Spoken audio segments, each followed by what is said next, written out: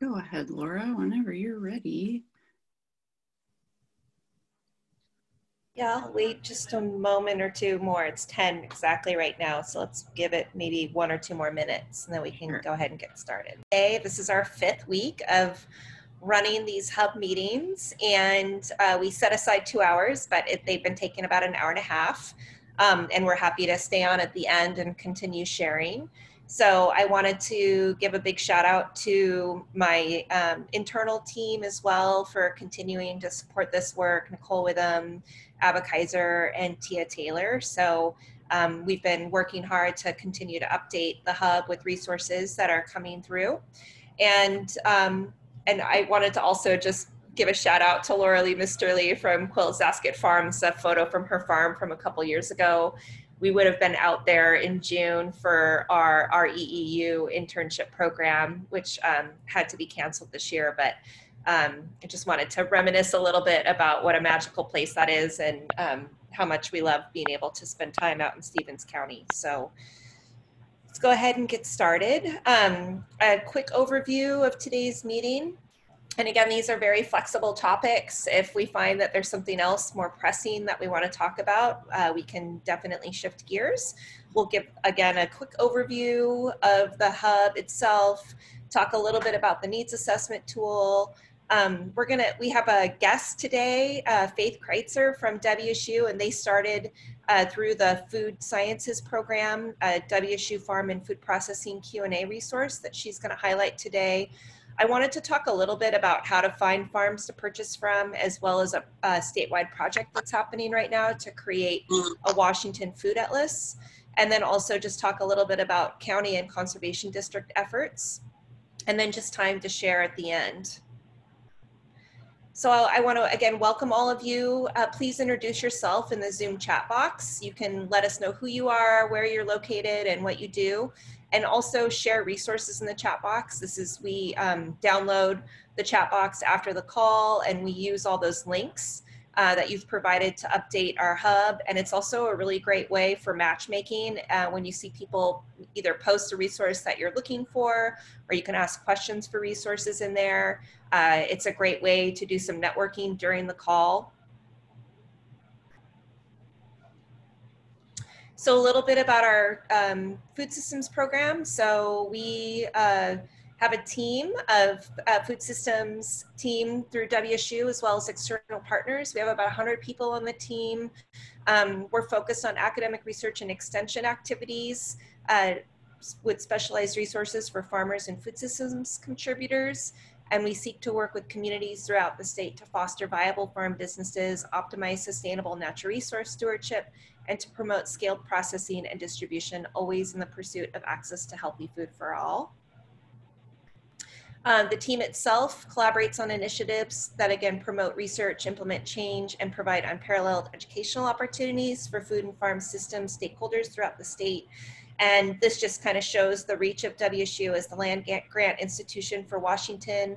We have offices in all 39 counties um, on the Colville tribe.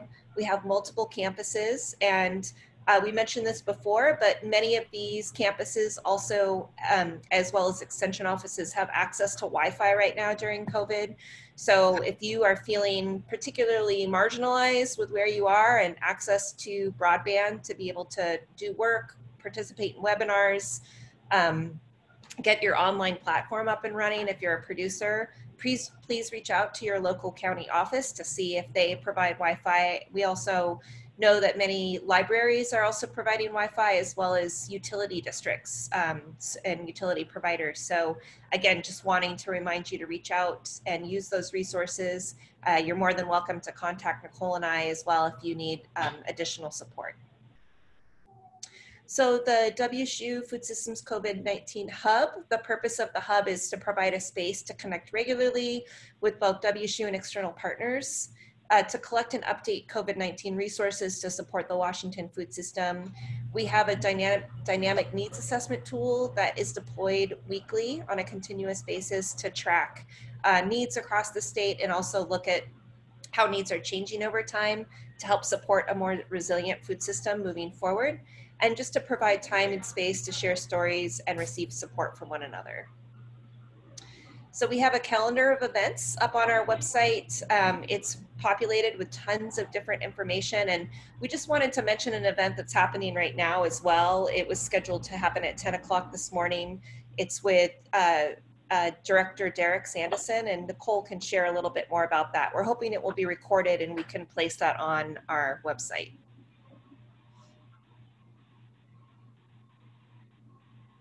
So this is uh, Congresswoman Suzan DelBene and uh, was is having a live discussion right now with Director Sandison. We almost thought about just live streaming this during our call today, uh, but we weren't sure how long it was going to last, as well as sort of the level of discussion, whether it would be something that would be approachable for us on the call. But uh, we wanted to make you aware of it. If you have the opportunity, maybe you can live stream both this call as well as that. Um, so uh, we do have, um, we will try to uh, put a link to that after the call. Go back to share my screen.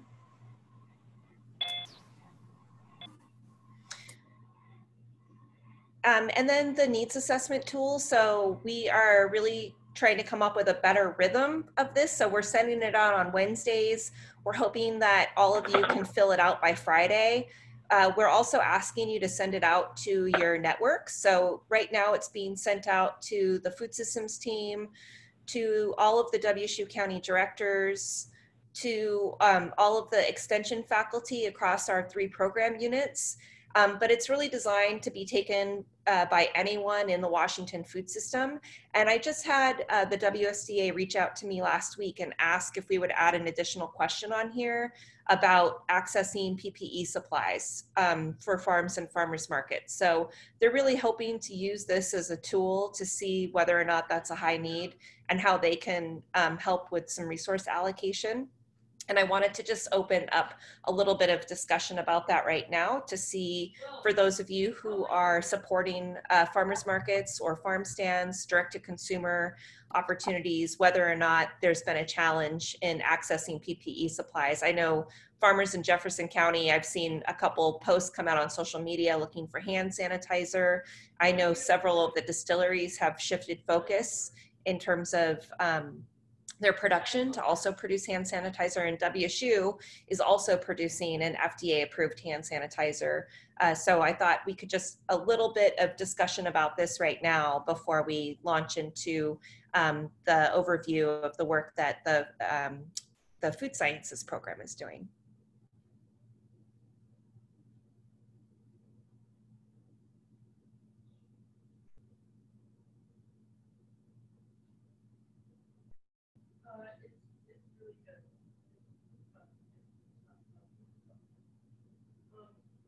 Sounds like everyone's i guess we, we, no one on the call has information to share but it would be nice to know um, as this tool gets deployed weekly that you're sending it out to uh, farmers market managers and farmers in your area especially those that are doing direct to consumer sales uh, to see whether or not that's a high need for them is being able to acquire things like masks, masks gloves and hand sanitizer.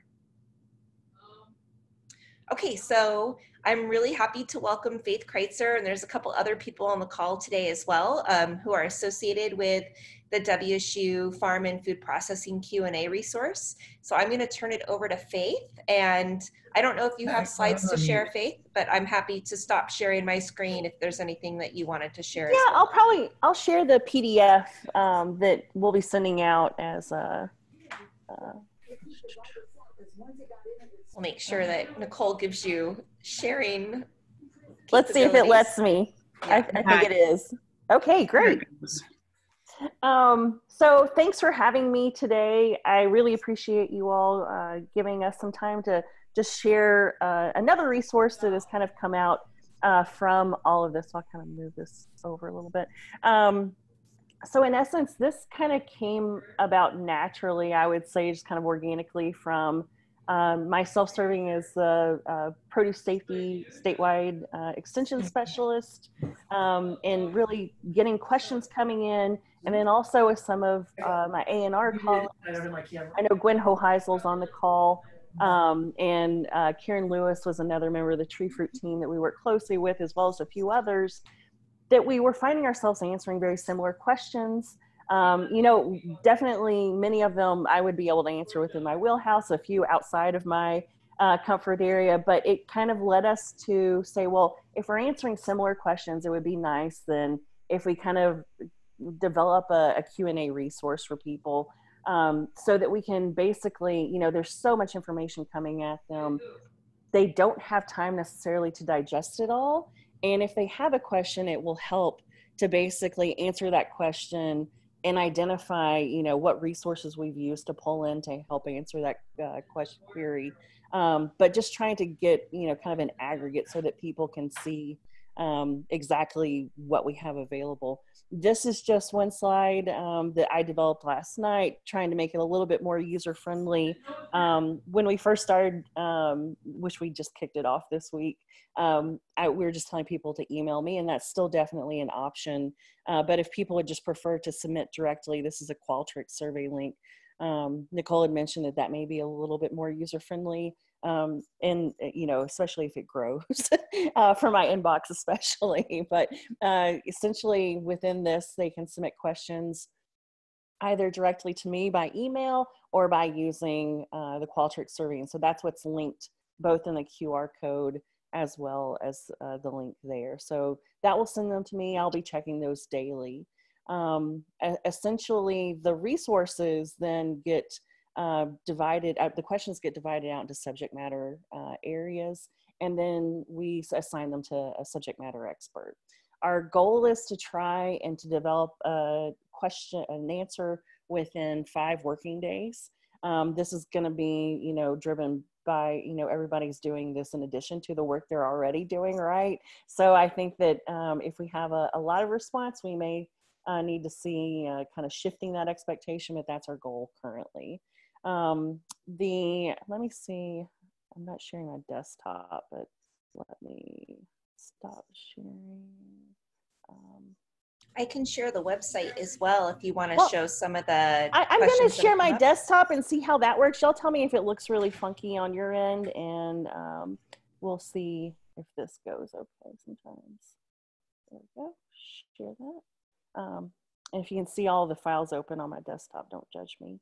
Uh, so here is um, the resource again if people wanted to uh, go and submit. Looks like my internet's working uh, overtime today.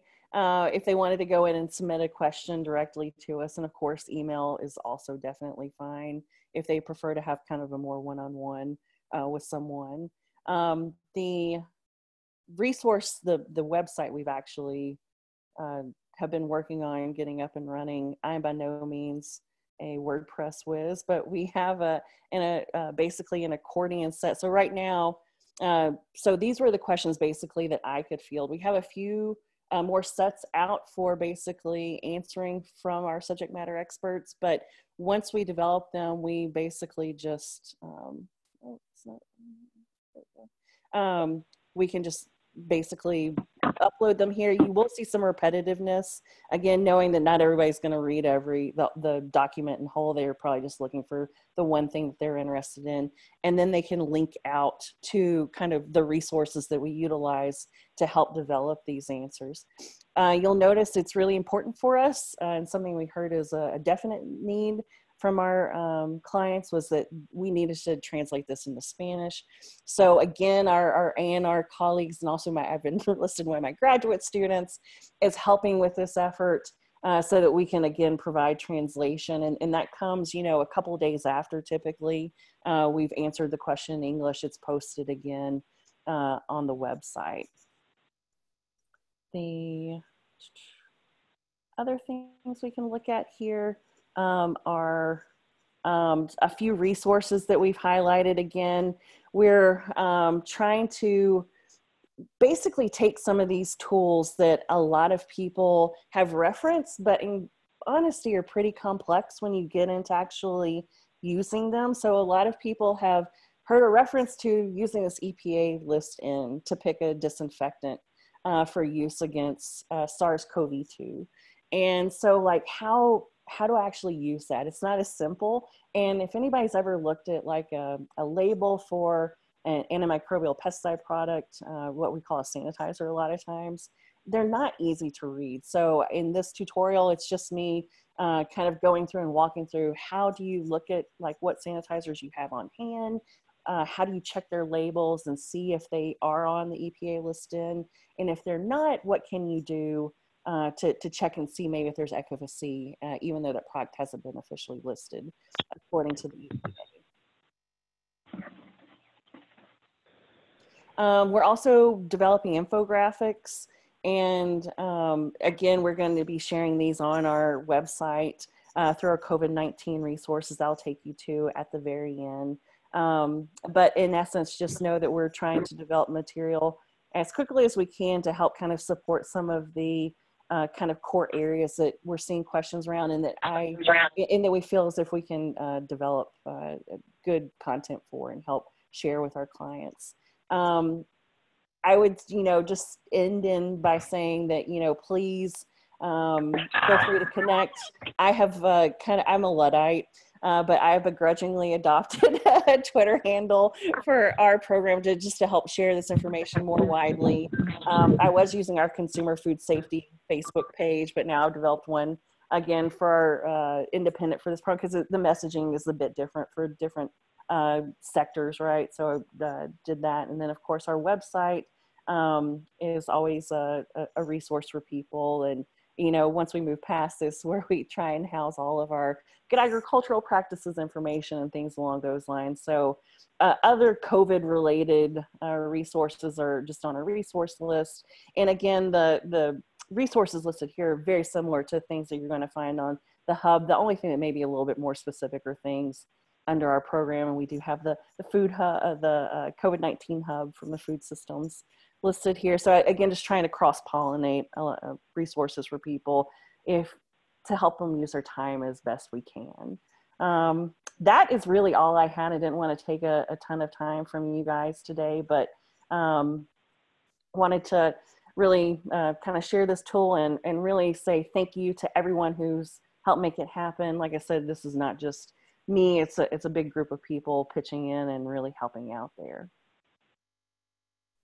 Hey, thank you so much. I know there's a couple other people on the call today that are part of this um, effort, and mm-hmm. I don't know if anyone else wants to kind of share what they're hearing or um, sort of some of the uh, specific um, concerns they're getting from farm and food processors. It would be great. And then also anyone else who's on the call that just might have a, a question about this resource or um, some feedback. It would be great to hear from you as well.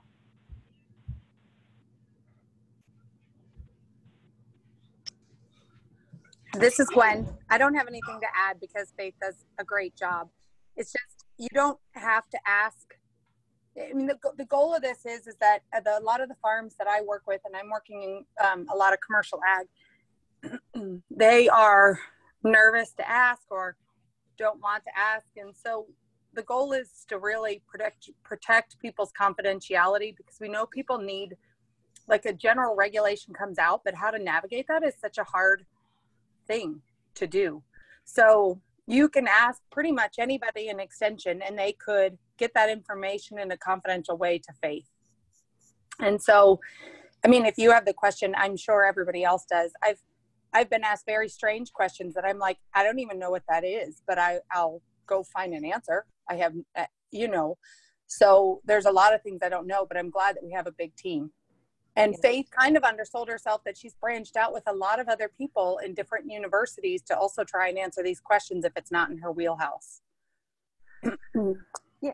Yeah, we definitely like uh, worker safety is not our thing, right? So we, we've reached out and Gwen actually connected us uh, to, you know, PNASH and uh, at the University of Washington and having them help field some of those questions that by no means are anything I've ever thought about.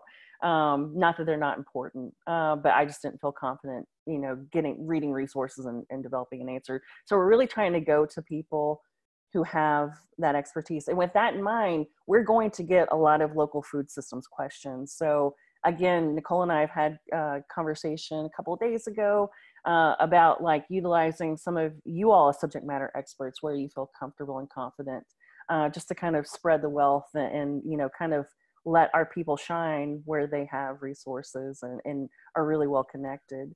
Um, and as Gwen mentioned, um, we're all in for tailoring this to the right approach for the right group.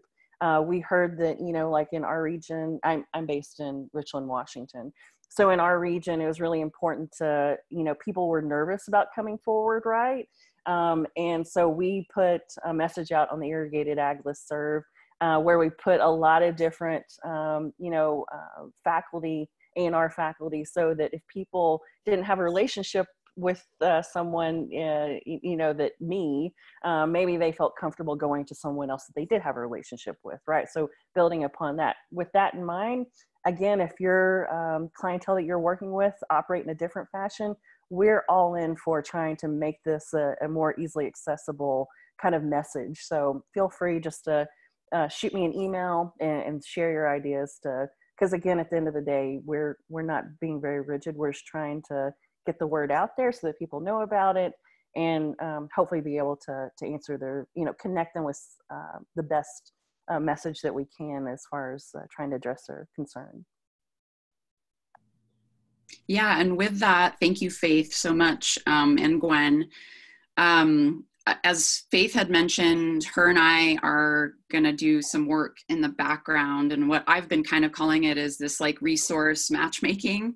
Um, so I know that specifically within uh, our realm of work, we've heard from a lot of producers that some sort of one on one hotline question answer is really what they're needing. They don't have time to, to look into it and read or um, go through publications. And um, so faith is faith has worked out a way when she when she goes through her list of of questions and how they're being categorized she's gonna she's gonna come to me to kind of route some different questions that might be specific to small farms or farmers markets or direct marketing or um, whatever it might be.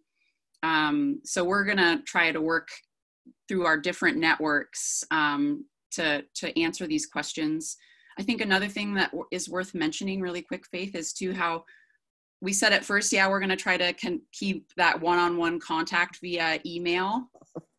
But there's also um, the aspect of each of these questions is being posted on your Q&A website with then the response. And I think it's really valuable to, to make sure we say again that we're working really hard to make sure that both the question and the responses are going to be bilingual or shared in two languages. So um, yep. So yeah, I'm really excited about this, and um, we're right there with you, WordPress.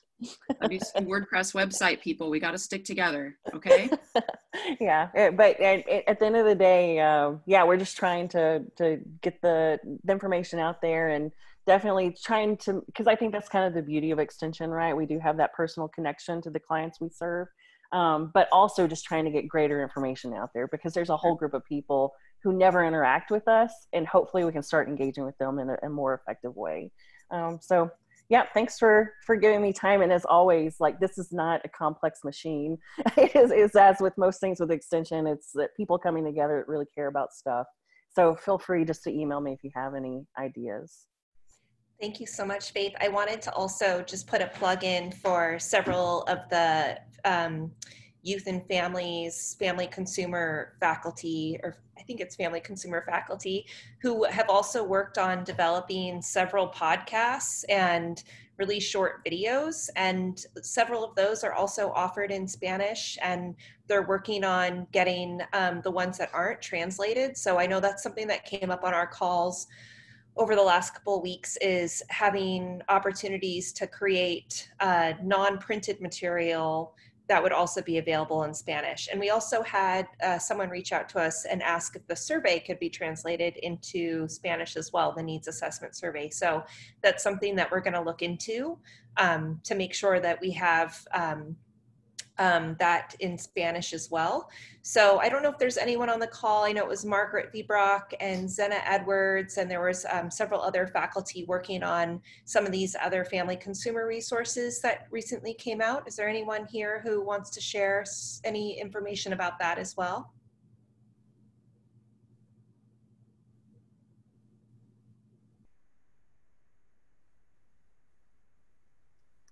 I will just say that I have um, some follow up some follow up emails going out to several SNAP um, SNAP uh, organizers throughout the state, and I was hoping to do um, kind of a, a deeper check in um, with them on our next week's meeting, actually. And I just see a question in the chat uh, from Stephen Bramwell. Is the website launched yet? It is launched. Um, so uh, there is, uh, this website is up and running, and I think you can find it through um, the food safety link. I didn't put the actual website up here, but we can put that in the chat box today. I just we added it. Okay, great. And then we also had a question about where the needs assessment tool data lives, and that lives on our website. So we publish those weekly reports. And we have a weekly report, which is all the data together, and then we break it down by internal WSU responses and external to WSU responses. And then I'm also happy to provide specific county reports. So um, King County and Pierce County has asked for reports uh, specifically for um, their stakeholder groups. And so if you're interested in that as well, just let us know. Seeing if we're getting some more questions. Great.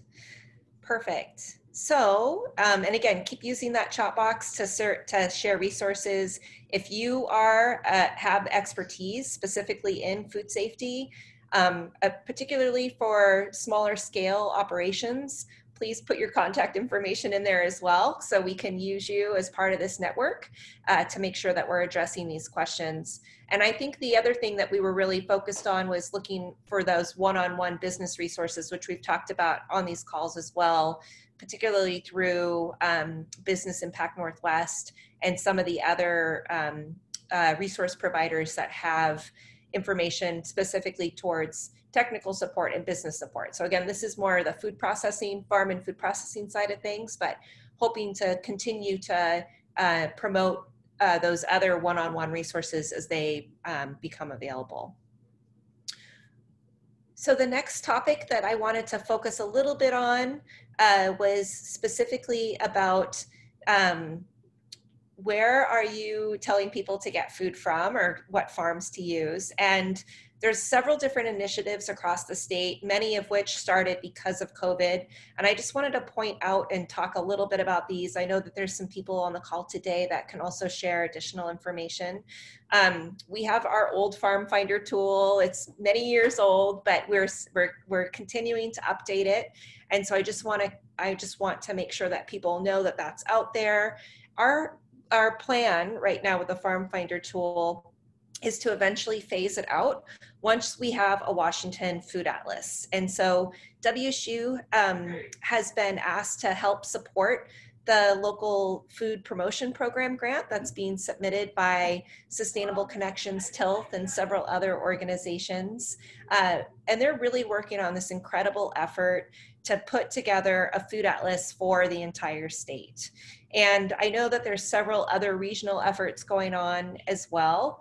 Um, but we're just really excited to be able to see this move forward and hoping to make some headway um, even before the grant um, is we find out whether we got the funding or not. And I really feel that there's a lot of momentum right now, not only within this working group, but among other partners across the state to really move this forward so that not only in COVID, but beyond COVID, we have a really high quality statewide resource um, for people to be able to search for uh, food and farm businesses that they can support. So I just wanted to uh, put a plug in for the farm guide. Um, the, the printed guide, I believe, just came out this past week. If there's anyone from Tilth on the call, if you want to share a little bit about the current farm guide. It also looks like uh, Christine Perry. Do you have a question? Are you raising your hand? Hi, this is uh, Cheryl from Tilth oh, I'm hey, on Cheryl. the call. Great. Hi, nice to talk to everybody.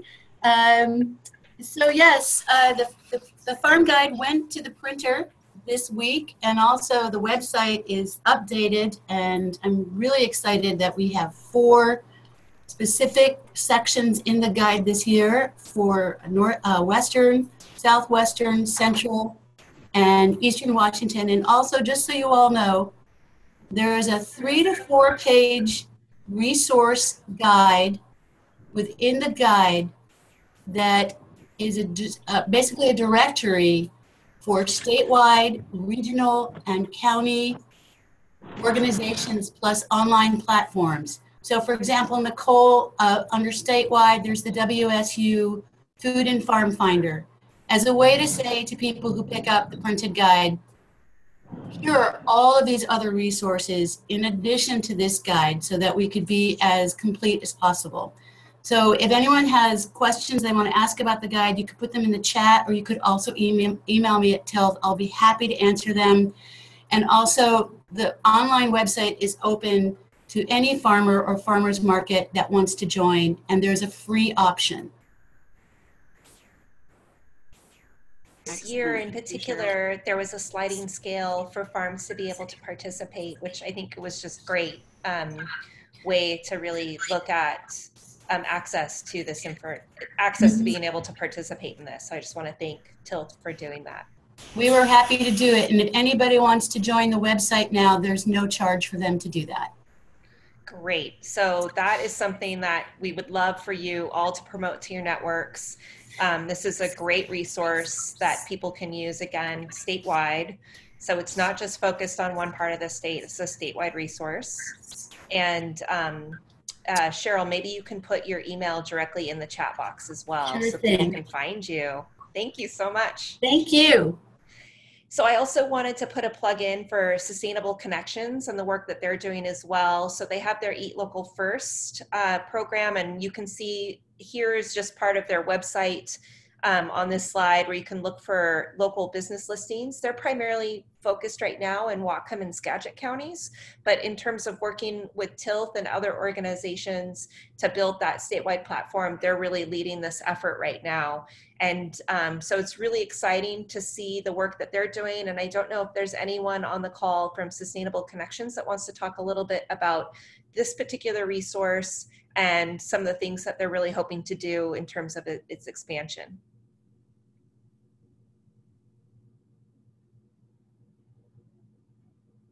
I see that Marissa's on the call. Hi, this is Marissa from Sustainable Connections. Um, Alex is on the call as well, and he was going to give an update, I believe. Great.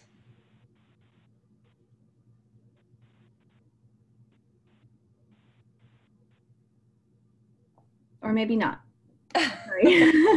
um, yes, so um, actually, the screenshot that's being shown is um, our Sustainable Connections website. The Food and Farm Finder, um, the Food Atlas, is actually at eatlocalfirst.org, and it looks um, very different. So the Sustainable, pull, yeah, I'll pull that up while you're talking. Um, that site is um, about all sectors of business in Whatcom and Skagit counties. so similar to what Tilth said, uh, farms can list for free on the eatlocalfirst.org food atlas. Um, we did have a fee earlier in the year, but we've waived that um, through the end of the year as a way to try and support um, connections for farms in upper uh, Northwest Washington. And also we've created a COVID availability section, um, trying to connect folks with CSA, uh, farm stands, any farms that are pivoting really quickly um, we also have a printed guide, our Food and Farm Finder. Um, we have put pause on uh, going to print at this point, trying to figure out a distribution plan that's going to be safe. Um, so we are still going to print, but likely going to pivot our campaign a little bit um, and reduce the amount that we're printing and do a bigger digital campaign pointing people to the Food Atlas. Great, thank you so much. So, and this is the website that she was referring to, and the link is also, sorry, I grabbed the wrong link there. And the link is also available in our chat box.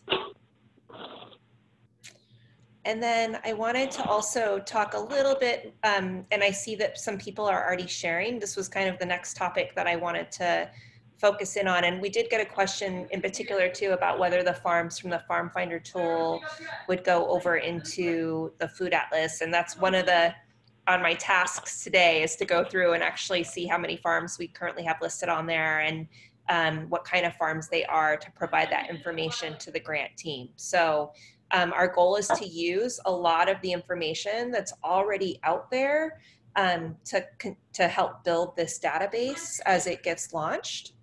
And that was the next thing I wanted to kind of bring up was local and regional resources. And I see that Stephen already even posted something in the chat box about this. I just grabbed the page from Jefferson County and the local 2020 organization. Um, they are um, continually updating um, information on local farms, farm stands, and CSAs, as well as restaurants that are open. Uh, so they've created this resource with a map of food sources as well in Jefferson County, and this is being done in collaboration with several organizations, including um, the WSU Regional Small Farms List or Small Farms um, uh, group. And so I really wanted to just open this up for a time for those of you who know of local and regional resources to share them either in the chat box or just pipe up and let us know what's happening. I know Diane Dempsey was working uh, through the Clark Conservation District to also put together Dempster. a list. Dempster, I'm sorry. Um, and so, yeah, so looking at all of the different resources that we have across the state. Mm-hmm. Dan, do you want to talk a little bit about the one that you're working on? Um, well, it's kind of on hold until the um, Conservation District has a meeting next week. Um, we are talking, um, hoping to combine it with a food finder and uh, make sure we're not duplicating efforts in Clark County. But there is a need for an updated list of farms in Clark County because the latest one is 2017.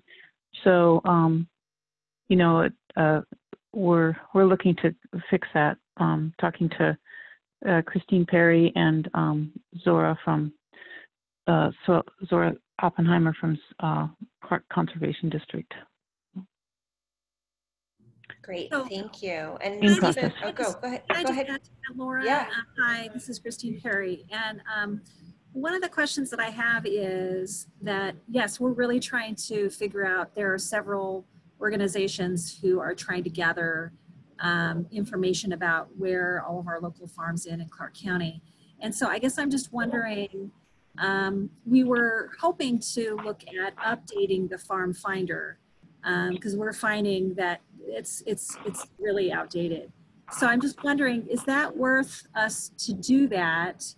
Um, knowing that this um, food atlas is going to be coming, I guess wondering what the timeline is. Is it worth us worth it to for us to update the farm finder, knowing that maybe that that information will go to the food atlas? Definitely, um, yeah. Or and and then I'm also just wondering of we're, we're trying to figure out a collaboration with the water um, conservation district and again is it would it be better for us to really think about updating what we have, but then really focusing on um, maybe moving that information or knowing that the food atlas might be the, the better um, kind of platform that we're going to want to use in the future and what maybe the timeline is that on that? Yeah, so the grant itself is due next week, and the Farm Finder tool is going to remain active for probably a few years to come. So we're not going to phase that out anytime soon. It's going to be integrated into um, the Food Atlas as that goes through different phases of development. So I would encourage everyone to continue to update and use the Farm Finder tool through WSU. We're going to continue to maintain that and hopefully try to strengthen it as well as we move forward and not, um, I, you know, hopefully not duplicate too many efforts, you know, so that we're not getting people to have to enter information into several different platforms as we move forward. So I would encourage you to continue to use the Farm Finder. I would also encourage you to list through Tilth right now as well. Um, with the statewide resource that they have through the farm guide, knowing that listings are free uh, for farmers who want to get up on there. I think that as many different places as they can potentially list is probably really beneficial right now. Um, because people look at different um, resources. So, you know, most people are aware that the Farm Finder tool through WSU is a, is a bit cumbersome um, and a little bit outdated, but it, it does it does the work you need it to do. You can still query for your county and see if there's any farms in your county and what kind of services and products they offer. Um, so I would, I don't want to uh, discourage anyone from using that because it's not going to go away until this other statewide resource is fully operational. I wanted to also, Jude um, had a great comment in the chat here, and I had this similar thought and have had this similar conversation with a few other folks too about the some details about how farmers can then maintain their own profile on a new platform like a food atlas. So I don't know, Laura, if you guys, I know that we're just the very beginnings of just kind of even grant writing to fund a project like this, but um, do you have any thoughts on that or does anyone else have any thoughts on that?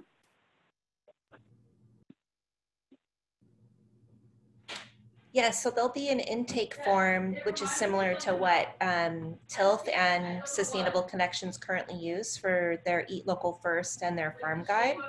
Um, so it'll be kind of a similar type of format. Well, there'll be an intake, and then there's some work being done from a research perspective from WSU to look at the kind of um, social capital and language to use to really connect producers and consumers or food and farm businesses and consumers. So um, that's going to be actively done throughout the, the project to help kind of guide the information that we would need um, through that intake. And we're hoping not to make it cumbersome. Uh, Misha Ide is on there from uh, Pierce Fresh. I'm hoping I'm saying that right. Um, uh, which is a group that's also participating on this. And it's been great to have a producer involved uh, thinking through sort of all of those complexities of the amount of time it would take a producer to do sort of their um, intake form and what that looks like and how they can update it as well. So those are all things that are getting worked out logistically through the project itself. Um, but yeah, there's that's definitely at the at the top of um, the team's mind. Yeah, and I can just chime in just really quickly too from um, Sustainable Connections with the Eat Local First Food Atlas. Um, our tool as it stands right now is region specific for Whatcom, Skagit, San Juan, and Island counties. Um, so I would say in the immediate future, if a farm is located in our region, um, obviously it would be great for them to list as many places as they can, but we are really aware that um, it's hard to keep many platforms updated. Um, and so I would hope that farms that are in Whatcom County would update their information on the food atlas and similarly um, in Seattle um, with the Tilth website because that's the immediate need to reach those audiences um, is really what's important at this particular moment while we're working on all of these other grant um, opportunities.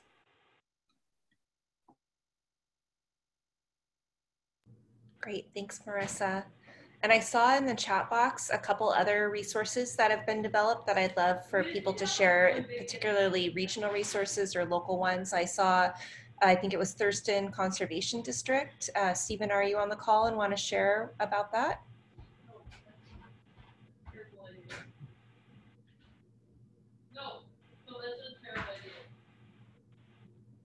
And I also saw something from Grays Harbor posted by Chris.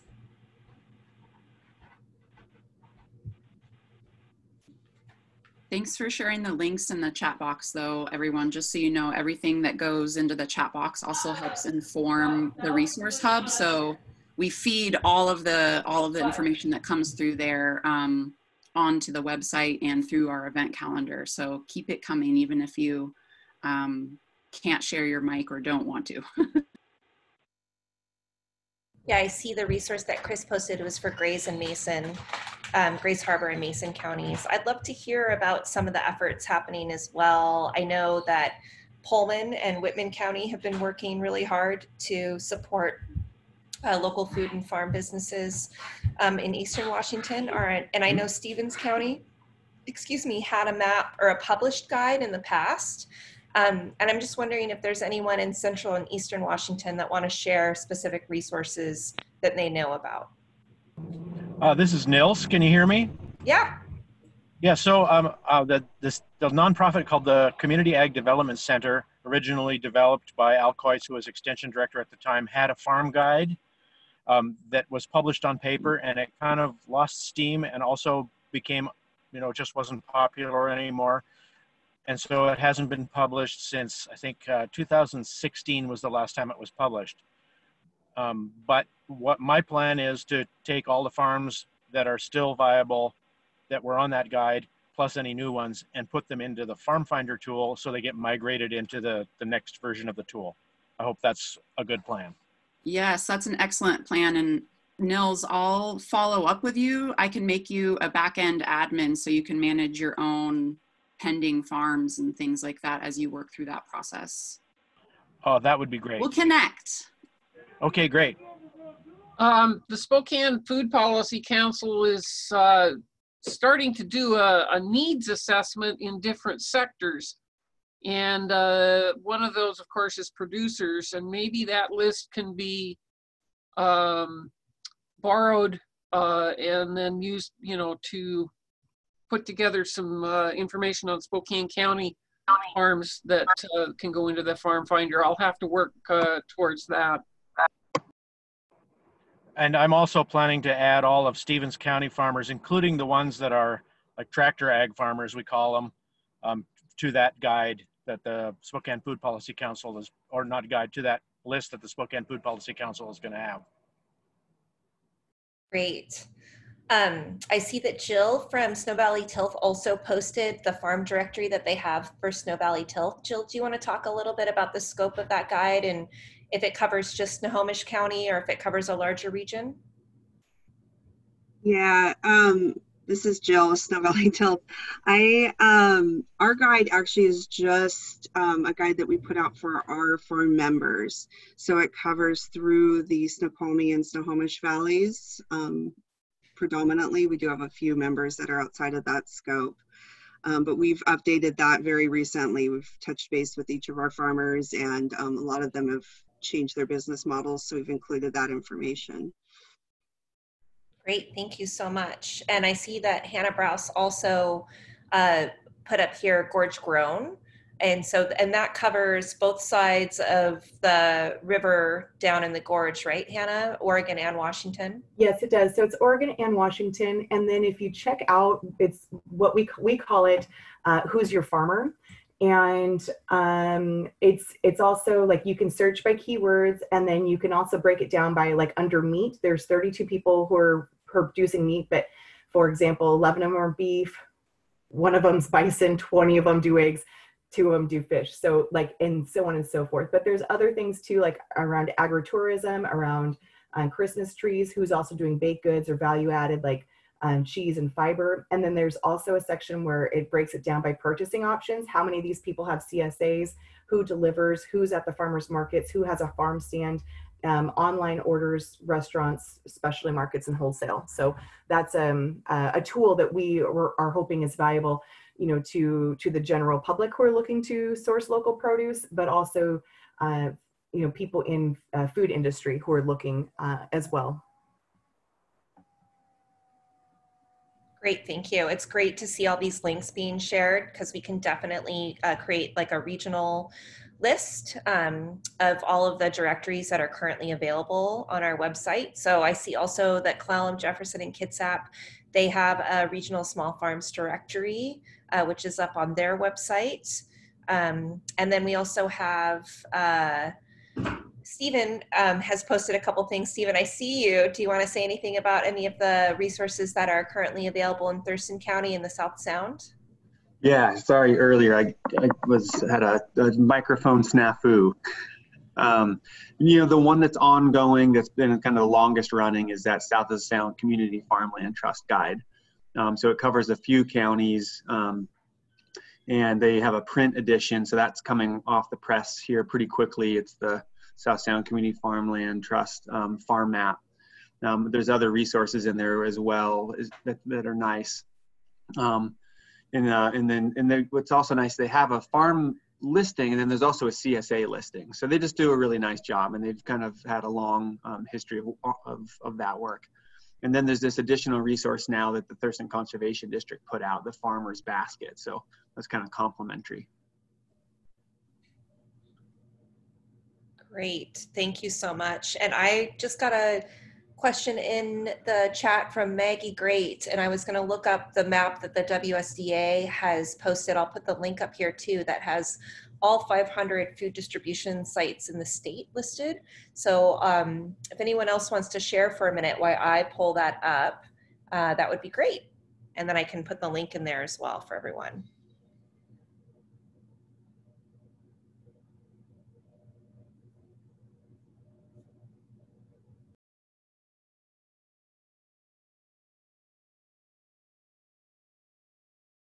I have something to share just here quickly. It's somewhat unrelated to the last topic, but I don't know if you can see, I've got a, I'm in my vehicle loaded full of food boxes, but um, uh, just the last few days, my time has been um, used up trying to take advantage of some of the potatoes and hopefully maybe onions that are being dumped now because uh, processors in the Tri-Cities area are no longer accepting potatoes because the world market for French fries has crashed.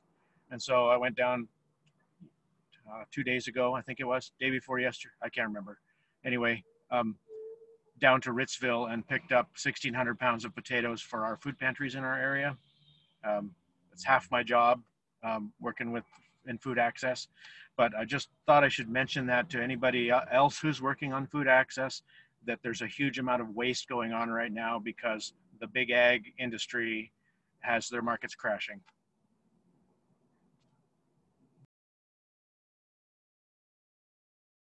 Thanks, Nils. And that would be a great topic for next week as well. I know there's been a lot of information coming out in general about um, big ag food waste, as well as the challenges uh, in terms of uh, processing animals. Uh, we had a call this week with our WSHU steering committee talking about that specifically. So um, that would be a great focus for next week to really uh, dive deep into some of those challenges and look at uh, both resources and some solutions. So thanks for bringing that up. Um, I did just put a, a link in here uh, for the map that's being produced by the WSDA.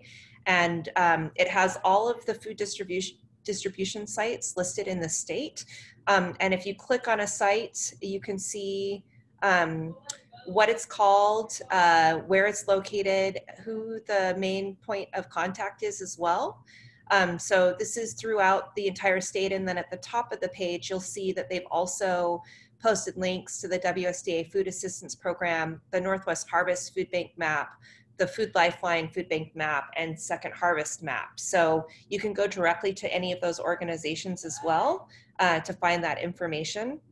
Uh, so it's a very uh, it's a great resource to be able to share, whether it's on your website or send it out to anyone in your community, um, especially with all the increase in SNAP enrollments and other people who are looking for access to food right now. Um, you know, we're we're expecting a twofold increase in users at all of these uh, food security sites over the next month.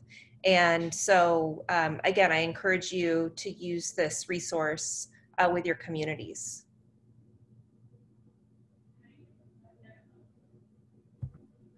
Laura, this is Hannah Brose. I had a kind of a, oh, I guess I guess you could call it amusing, but uh, as as Nils was sharing, you know, I was thinking about if we're going to talk next week a little bit more about uh, breaks in the food chain, but also for a lot of us working in food security, where some of those opportunities might be right now. I know some of those things are like immediate, right? Where it's like it's it's um, this opportunity to pick up, you know, is happening now. I kind of see that as like gleaning on a major on a major scale in a way. Um, I wonder if there's a if there's some kind of a platform or a way for us to be able to disseminate that information because I know it's it's really timely, you know. So if Nils did that two or three days ago that they may not still have uh, opportunity for people to pick up somebody else might i wonder has anybody seen anything like that across the state where um, there's an opportunity on a large scale where like even from my region maybe we could send up our you know our mobile farmers market to go pick pick up um, items like that I think it would be great next week. If, and I don't know if anyone from Food Lifeline, Second Harvest, or Northwest Harvest is on the call right now. Um, but it would be really great to hear if they have capacity and sort of the work that they're doing right now to help with some of that um, because it does take uh, transportation, storage, like Nils was saying. Uh, it's pretty um, challenging. And so I don't know if there's anyone on the call in particular from either of those organizations, but we can always ask next week um, if they can. I know Laura Titzer is on as well as Jen Moss. Um, Laura, maybe you can talk a little bit about uh, what's happening in terms of trying to uh, pick up some of that food surplus. Um, yeah, this is Laura. I can I can speak a little bit to it, um, though it's a, a little bit a little bit out of my area of focus here at Northwest Harvest. But um, we our procurement team is getting calls constantly from growers um, to be able to pick up food um, and things like that. And we're not able to really keep up with that at this point um, for a couple of reasons. Um, one is that for those of you that don't know, um, Second Harvest and Food Lifeline and Northwest Harvest worked with the state um, to do um, a statewide effort for these variety boxes that we're calling them, which is shelf stable variety boxes um, to the emergency food system network across the state. Um, and with that, we split the state up. So even though Northwest Harvest, for instance, is a statewide agency, we're now primarily focused in 13 counties. Um, and then the other two agencies, distributors, are focused on two other sections of the state to make sure everyone's covered.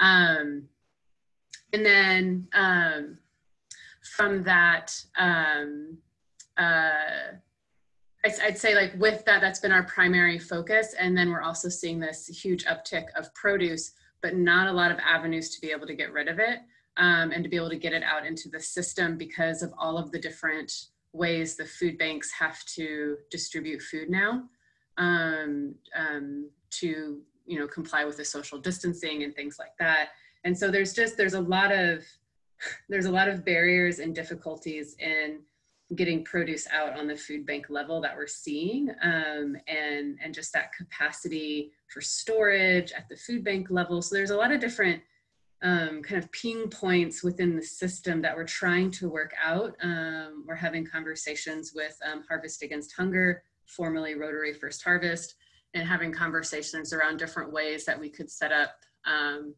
uh, with the emergency food system to increase capacity, um, cold storage capacity. So I guess a long way of saying there's a lot of conversations happening to figure out how we can be um, helping with this. And um, but right now it's been really difficult for us to take on a lot more produce.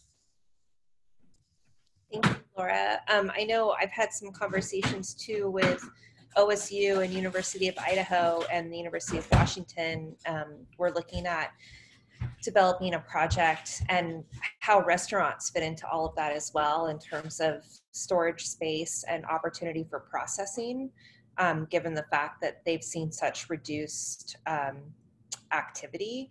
And so, you know, maybe this is something we can brainstorm a little bit more for next week's conversation and invite um, some of um, the um, key stakeholders across the state working on this.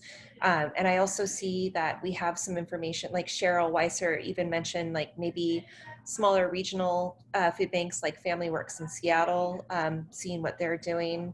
I see Nils, did you just raise your hand? Um, no? Okay, so thinking about um, uh, specifically about some of the things that we could do and Chris also just mentioned, could we speak um, to any coordination regionally on the USDA Farmers to Families food box program, what's coming online in a few weeks on the hunger relief or food bank side? So um, Chris, I'd love to open up that conversation as well. Are you meaning next week or um, did you want to bring? Laura, does he mean Laura Titzer? Oh, he might be. Yeah, there's so many Lauras on the call. Yeah, Laura Titzer. Great. Too many Lauras. Yeah, Laura Titzer. Too many Lauras. Okay, great. Yeah. Laura, yeah, I can I can speak to that a little bit, Chris, and that's another piece. So we have been um, for that um, CFAP grant. I our procurement team was. Um, I just learned earlier this week got pretty barraged with a lot of phone calls um, from different growers to participate as partners on their grants. Um, and we have um, worked with, um, we are working with LINC Foods um, and their cooperative over in Spokane on their grant. Um, but once again, getting back to that capacity, we were really nervous about agreeing to be on a lot of folks' grant applications um, without really knowing um, that that produce can get all the way to the end user um, without um, uh, you know getting wasted in the process of if there's a lack of storage capacity and things like that. So we were really hesitant on um, doing too much um, until we can get more pieces figured out on the ground with the food banks to make sure we don't overwhelm the system. And then we end up doing exactly what we don't want to do of produce going to waste. Um, so that's kind of that piece. And I'll say on the other side, we are though also um, before um, kind of this grant came on board, we were internally also looking at piloting um, a program to uh, purchase um, basically like CSA boxes. It's pretty much the same as this grant. And we were, and so we were thinking about doing that before the grant and that's something we're still working on. We've actually secured some state funding to do some produce boxes that um, we are um, going to be um, working with some growers that I don't know, I'm not sure who those growers are going to be yet on um, Western Washington. And then um, uh, and some growers in central Washington. And that's a pilot that we're doing there.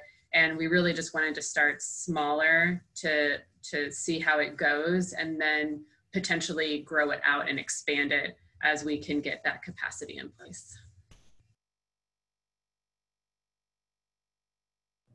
Great, thank you so much, Laura. Chris, do you have anything you want to share in particular as well uh, in regards to farm to school and some of the work that you're doing?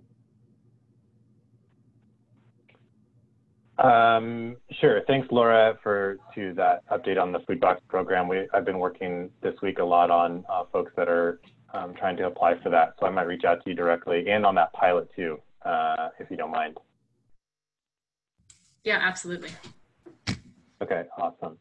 Um, I don't I don't think any major updates uh, from farm to school, although um, we're going to start working on uh, I guess I'm calling it a live farm to school availability list. And so even the discussion earlier of all the directories that are already out there, um, trying to provide some good information based on a lot of that data that's out there already to schools on what um, local products, especially as the season's getting started, um, or things that are really good for school meals and the way that they're distributing them now. Um, that's a project that we'll be working on and trying to um, get that information out to schools collected from farms and out to schools um, in the next couple of weeks. Uh, but just to make clear, it's not going to be uh, duplicative, I think, of those efforts. It's actually going to depend on a lot of the directories that everyone's already using, um, and then asking anybody to, any farms or individual uh, listings to um, update things if they're specifically trying to reach schools and have products that are uh, a great fit for what schools are doing now uh, to, you know, pack and distribute food. Great, thanks, Chris. And I know I haven't had a chance to go through last week's data um, yet from our needs assessment tool uh, in in detail, but one of the high needs that was um, uh, selected or high need uh, need that was selected several times as high need was support for school garden coordinators. And so I'm just wondering if you can share a little bit about some of the work that you've been doing uh, specifically related to that as well. Um, yeah, I guess it depends on what kind of support they're looking for. I mean, I think district by district, every school district is handling um, access to school gardens, maintenance, watering. It's a decision that's made at the district level, so uh, it varies district to district on what those decisions are um, and what kind of, you know, if there's remote video education or something that can be done um, from the garden. Some schools and organizations are taking that on as well. Um, and yeah, within kind of the OSPI guidance, um, schools and districts are um, figuring out how to continue keeping gardens kept up and, and maintained if they're able to, to get access to them. Does that help? I don't know if that was.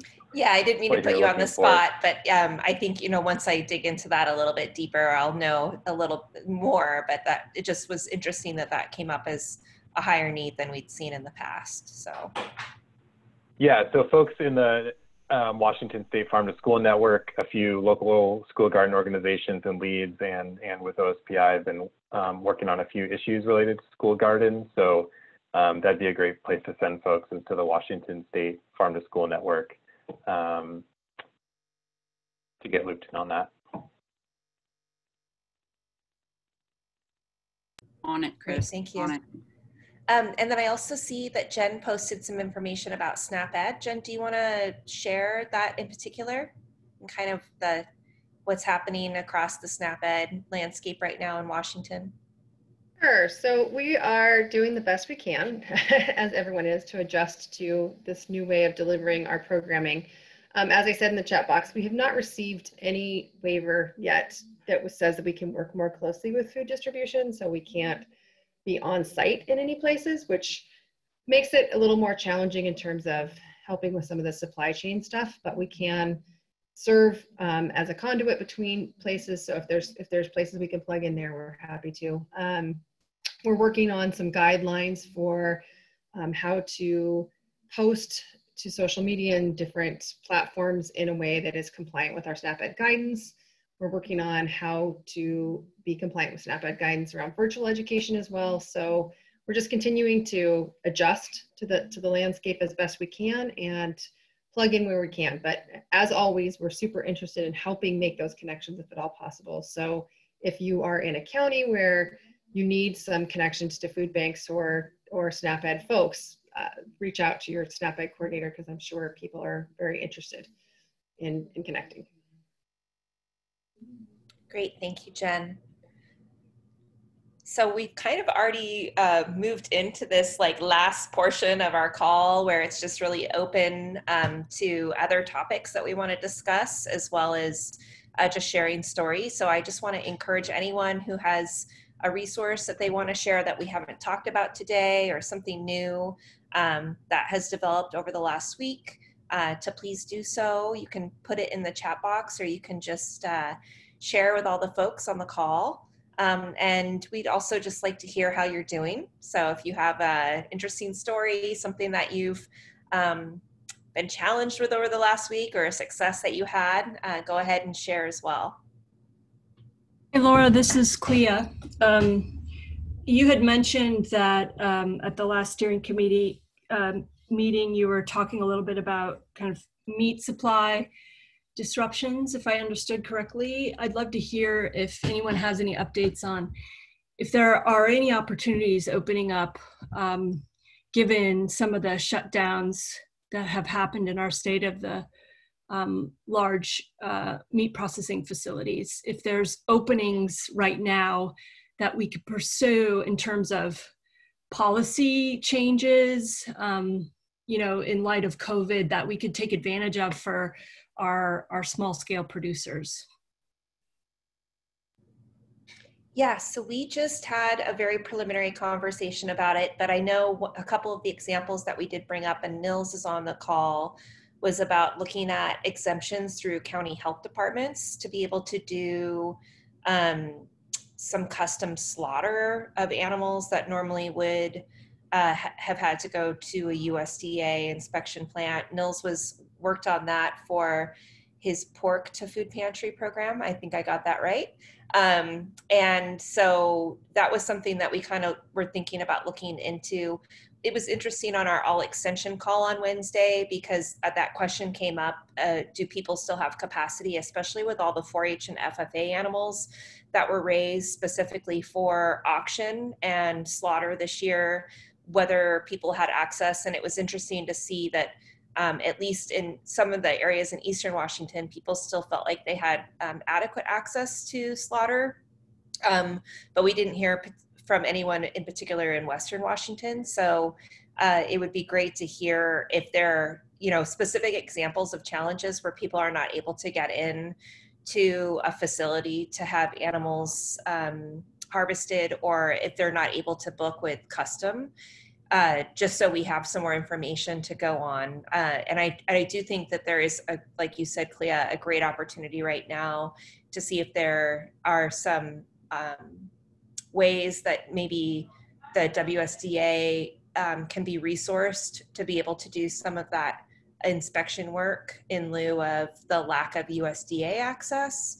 Um, I don't know if Laura Raymond's on the call or anyone else associated with the WSDA. I know that there was also a bill that was submitted um, by Representative Ericksen, I believe, from Whatcom County, and I don't know where that is in process right now and whether that was something that they were looking at, but I think it was to fund WSDA to do USDA uh, level inspection. Um, and then I'm part of the Food Systems Leadership Network listserv, and there's been a tremendous activity in the last week on looking at relaxing state regulations and federal regulations to allow uh, even restaurants to be able to um, uh, help with some of the custom slaughter and um, processing um, that could take place. So uh, there's kind of two different things. We have like the access to USDA for retail but also we're seeing a massive increase in people wanting to buy animals custom.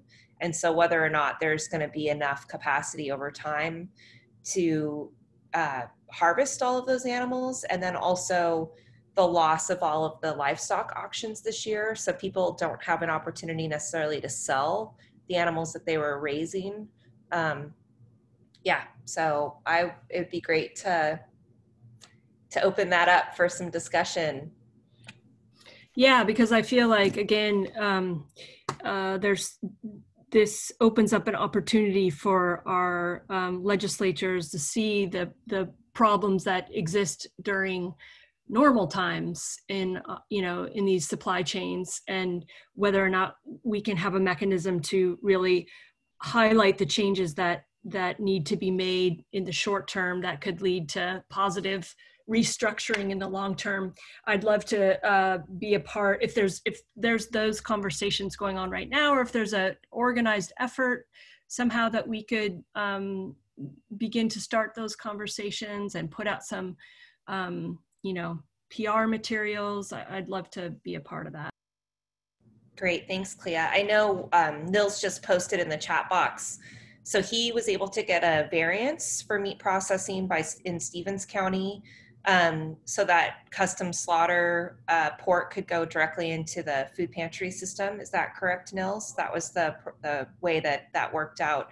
Um, and yeah, I think you know this was something that as a food systems program steering committee sort of rose to the top of our conversation on Tuesday. And I know Hannah, Nicole, Hannah and Nicole were also going to reach out to some of the other people within the WSU network. So maybe we can work on getting a, a, working group together to look at this specifically.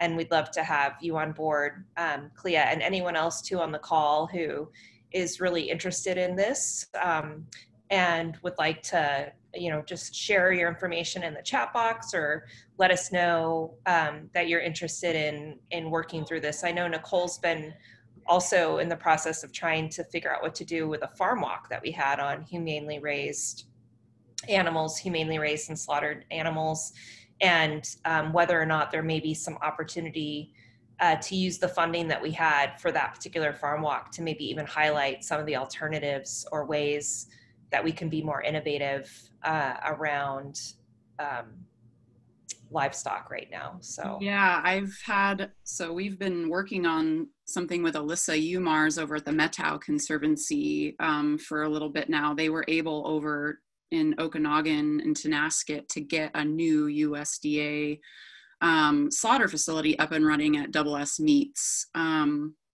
and so we had a farm walk. We were going to go to a beef producer and then to the processing facility there. We're not going to do that. So now we are trying to creatively parlay the same resources, the same funds um, to get the similar similar educational experience virtually online um, which you can't do, but we're going to try and do it.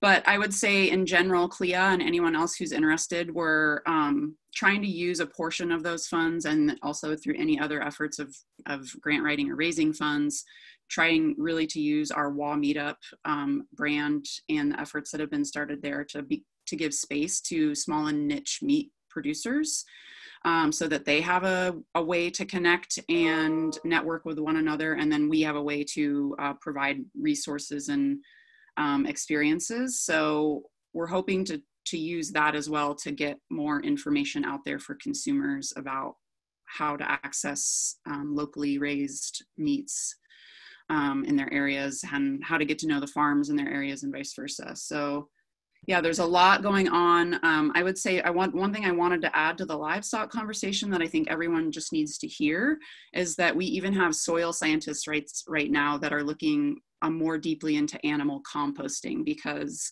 the reality is that uh, depending on the scale of the producer, people are now in some scaled or uh, some areas of the ag agricultural sectors having to depopulate. And I think everyone needs to understand what that means and needs to understand um, uh, how all the different scaling of things is really, really coming to light now. But um, yeah, so it's a big deal. It's a big deal. So, um, can I add one comment, Nicole and Laura? Um, yeah, so uh, I think it's, it's one of the things that is a disadvantage of this WSU group is that we're not allowed to lobby. And there needs to be legislation change. Uh, and I think the quickest way to get the legislation change is probably through the State Department of Health and then work with the WSDA for something more long term.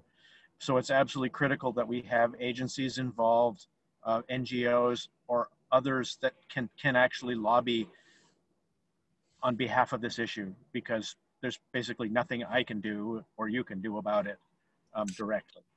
Yeah, and just if anybody doesn't realize that as as state employees, we we are we cannot advocate in any way.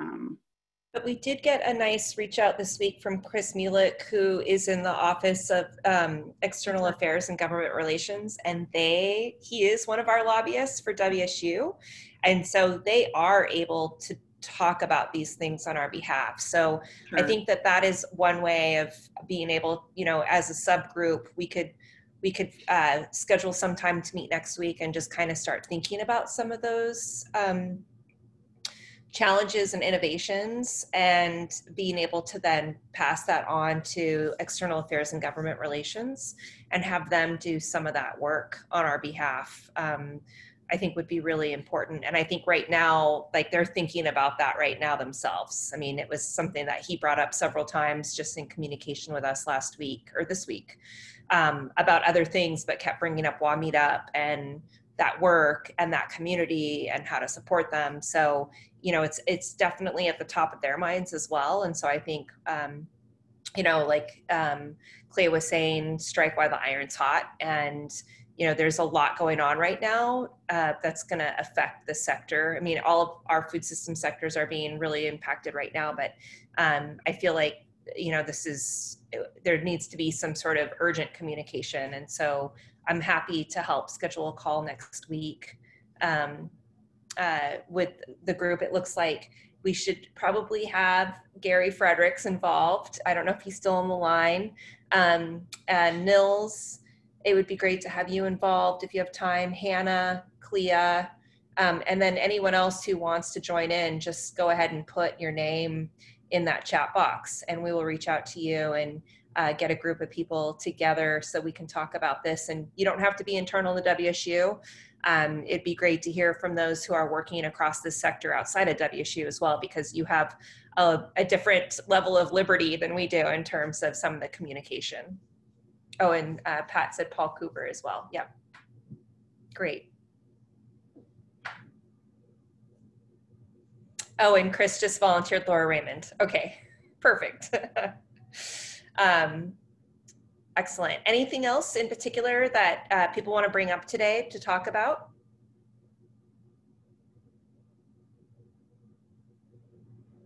Yeah, Mark, that's a great uh, suggestion also, Pat. I know Mark has been working with 4-H and FFA, FFA to figure out what to do with all the kids um, that have been raising livestock as well. Yeah, those those two guys need to be included. Um, Mark has been involved in the meat stuff, you know, at this level for a long, long time. So yeah, I would definitely make sure those guys get included. Great.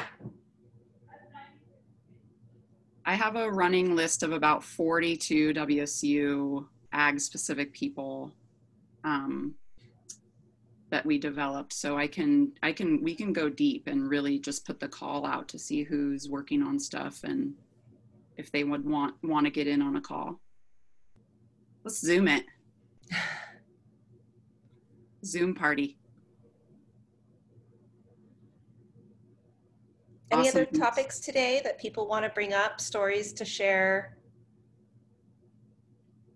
Uh, yeah, this is Kate. I was on a uh, call with a bunch of uh, King County farmers last evening.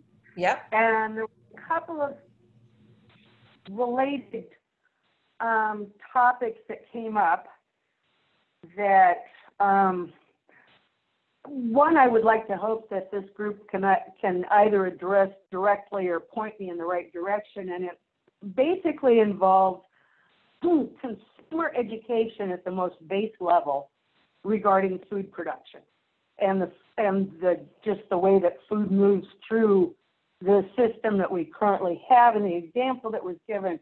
And I would also suggest this person um, for your meat group, uh, Leah Kranick of Kranick Dairy, um, who has been fielding way too many calls in the recent weeks from folks that want to come out to her dairy and, and they sell into, I believe, Darigold. Uh, they want to come out there and can we buy some cheese and, and, and cream from you? And people that are just like completely dumbfounded and, and clueless as to the fact that, well, no, even if I had it, I couldn't sell it to you because we, you know, et cetera and so forth. And so her plea was, is there some sort of like a cartoon or a short movie or some sort of pamphlet as something that just describes in the most basic terms the current food system that we have so that if you want to depart from it, i.e. going to the grocery store and connect with a local farmer, it doesn't work the same way. Um, and I, so I put that out to the group, and I guess then the other part of it is that I don't think that the majority of consumers out there even know to ask that question, i.e., oh, could I buy things from a local farm, let alone have the the subsequent thought, oh, well, maybe I should do a Google search for a farm finder uh, to locate that farm. And so I think having some sort of huge PSA or some sort of in your face to the consumer uh, publicity regarding eat local first, et cetera, and so forth, uh, that then can drive folks to, oh, okay, I never even had that thought before. Now I realized I can. Then certainly your food finder and all these other things totally fit and become highly useful at that point. Yeah, that's a great suggestion, Kate. And um,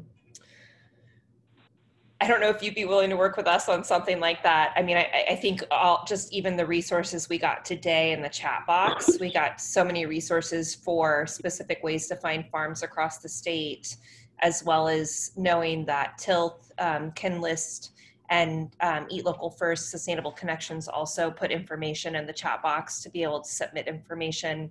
You know, if we had some sort of public service announcement, maybe even something that we could even have go out on NPR, being a public institution, that's something that I know is possible um, to really drive consumers towards some of these resources so that they're not uh, just trying to find farms and call them up uh, without those farms actually wanting to be contacted. So, Right, right, yeah. I mean, I was just blown away that people are that yeah that that level of of unfortunate ignorance exists. Um, and also too, I had very recently a conversation with uh, one of the local uh, AM radio stations uh, in Snohomish County wondering what they could do and obviously looking for a sponsor behind it to also help promote local farms and stuff. And like NPR and whatnot, as a general rule, these folks rarely do much of anything for free. Um, to a limited extent, they can, but as a general rule, when you get a blanket rollout on something, there's some sort of funding behind it, a sponsor of some sort, um, which when I see some of the generosity that is occurring uh, right now in regards to the crisis, I feel more hopeful than I normally would that it would be possible to get funding uh, where necessary and gimmies from uh, radio stations and maybe TV, et cetera, and so forth. Uh, if if we're able to just give them a, a, a short, sweet package of, hey, this is the problem, here's a solution, call us. Yeah, that's great. And I know we were um, we invited Rebecca, I can't remember her last name right now, who works with an extension as um, a publicist um, to be part of this call today. And that might be something that we can do specifically with her as well. She was looking at um, trying to develop um, some specific outreach materials for the work that we're doing. And um, one of the things that we'd also talked about was putting together a press release, and maybe that would be something not necessarily with her directly, but just putting together some uh, press release, which we could do internally within WSU, but then send out to all of these networks. And we've also worked with Tom Banse in the past um, on our Cascadia Grains work, and I know he's also interviewed Stephen Bramwell, and maybe it would be worth even reaching out to him. He's one of the contributors on NPR. Um, to see if this is a story he'd be interested in running. So, using some of the social capital that we've already built uh, within our work and our the realms in which we work. So if there's other people that have um, some uh, some c- connection through with press, uh, different types of media, that would be great. Um, as we look at putting something together, I think it's a great idea, Kate. Well, I'm happy to help in whatever way I can. Great, thank you.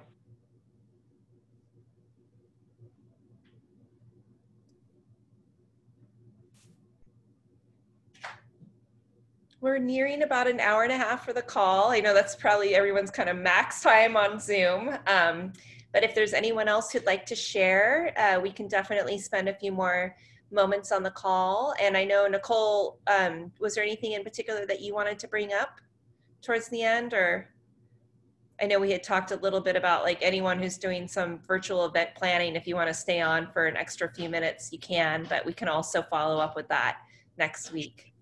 Sure, sure. Um, I think um, I think if if there's not anyone anyone else that wants to share a fun or joyful story um, or something like that, um, something that did come up this week in some other calls was um, event um, people who come here. Then don't just stand outside my door and bark.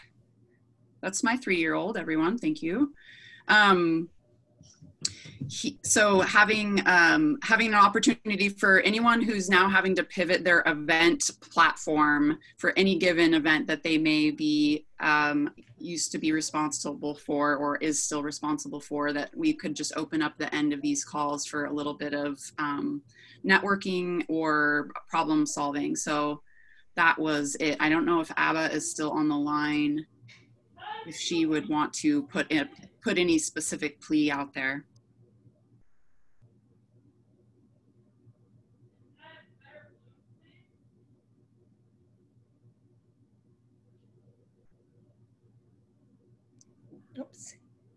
Okay, so um, I think that I think that that about covers it. It looks like there there was a a large amount of directories um, that we talked through today, um, all of which will get routed to the hub.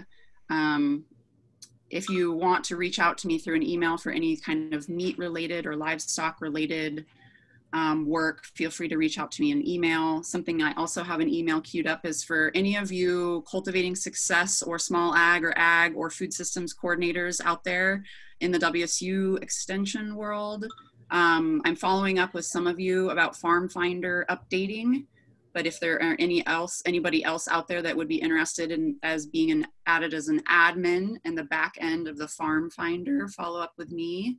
Um, and I think that's it. Yeah, just a reminder again to do the needs assessment tool. Of and then we course. talked a little bit about uh, some of the areas that we could focus on for discussion next week. So, in particular, um, meat and what's happening across the livestock industry. Um, my brain is is going now. We talked about a few other areas that we'd want to. Oh, looking specifically at distribution and uh, uh, large scale food surplus and how to pivot into um, uh, Yeah, uh, food waste and food access. I think. Exactly. So um, we'll look into some of these topics in more detail for our hub meeting next week. Uh, we'll work on getting together a subcommittee to work specifically on meat related issues and then also work on some sort of PR plan to really do some outreach specifically to consumers about access to um, locally produced goods. So um, sounds good. And I really, uh, I really want to thank everyone for participating today. Um, we really enjoy being able to see all of you, hear stories, hear what you're up to. So again, thank you again uh, for being here. And this recording will be uh, posted to our hub sometime this afternoon. So if you know of someone who you would like to uh, watch this, if there is information there that you think that they would have gotten benefit out of, please go ahead and forward that link on. And be well. Take care. And someone said today we're uh, heading into our third March in a row since we've all been home since March. So the months just kind of blur together. So I, I um, want to just thank all of you for being engaged and for all the hard work you're doing to help support food and farm businesses. Bye, everybody.